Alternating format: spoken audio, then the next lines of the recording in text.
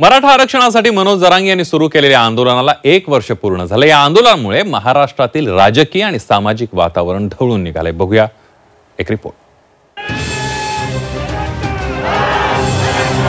मराठा आरक्षणाचे नेते मनोज जरांगे पाटील यांच्या आंदोलनाला एक वर्ष पूर्ण झालंय.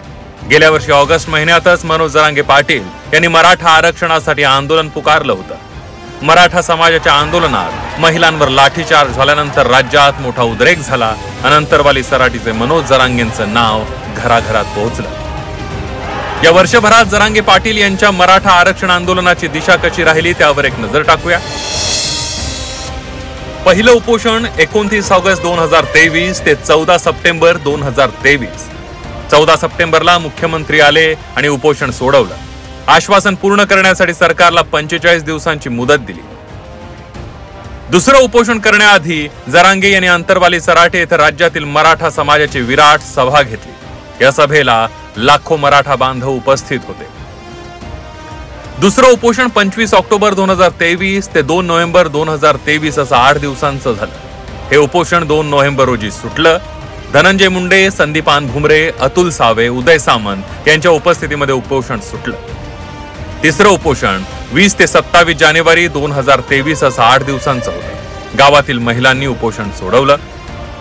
चौथं उपोषण आठ जून ते तेरा जून असं सहा दिवसांचं होतं. जरांगी यांचं चौथं उपोषण अंतर्वालित केले होतं. उपोषण सोडवण्यासाठी शंभूराज देसाई अतुल सावे आणि संदीपान भुमरे उपस्थित होते.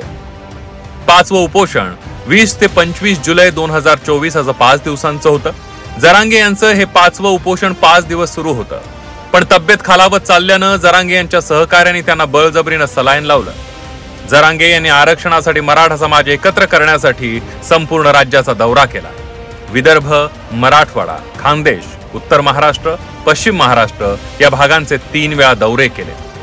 राज्य सरकार सगळे सोयरे कायदा करत नसल्यानं जरांगे यांनी वीस जानेवारी दोन हजार चोवीस रोजी अंतरवाली ते मुंबई असे पायी मोर्चा काढला.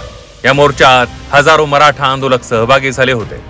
रक्तसंबंधातील नातेवाईकांना कुणबी प्रमाणपत्र देण्याच्या अधिसूचनेनंतर आंदोलन मागे घेत मुंबईच्या वेशीवरून परतलं. मनोज जरांगे पाटील यांच्या आयुष्याचा वेध घेणारा संघर्ष योद्धा हा चित्रपट सुद्धा याच दरम्यान रिलीज झाला. मराठा समाजाच्या आरक्षणासाठी मनोज जरांगेने आक्रमक भूमिका घेत राज्यभर दौरे केले सभा घेतल्या. जरांगे यांच्या मागे भक्कमपणे मराठा समाज उभा राहिला. मराठा आरक्षणाचा प्रश्न न मिटल्यानं लोकसभा निवडणुकीत महायुतीलाही जरांगे यांच्या आंदोलनाचा फटका बसला. आता आगामी विधानसभा निवडणुकीतही जरांगेंची भूमिका महत्वाची ठरणार आहे. त्यामुळे सर्वच पक्षांची धाकधूक वाढली आहे. ब्युरो रिपोर्ट झी चोवीस तास.